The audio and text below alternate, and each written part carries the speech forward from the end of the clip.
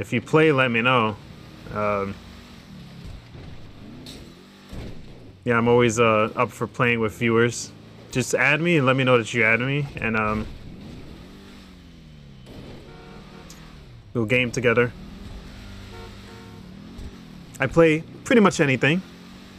GTA. I'm dying to race. Nobody seems to ever want to race in this game. I play Hearthstone. Chess. What else do I play? Um, Rocket League. The big one. Like, I love uh, Rocket League. I'm still kind of a novice at the game, but I just, I love the dynamic of it, you know? The back and forth. Very cool.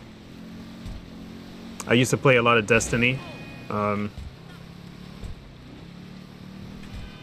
but uh, Destiny and GT are such big games that I can only load one or the other.